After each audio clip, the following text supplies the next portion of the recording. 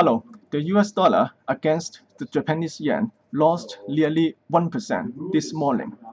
On an intraday 30 minutes chart, we can see that the pair failed to make it above the key resistance at 111.50 last week. It is currently trading at levels around 110.30, which were last seen in last November. And in fact, it has broken clearly below its long-term 200-day moving average.